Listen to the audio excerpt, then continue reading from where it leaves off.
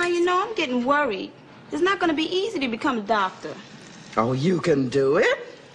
I don't know. Lots of kids talk about those things, but sometimes they don't happen. Now, you stop thinking like that. You can do it.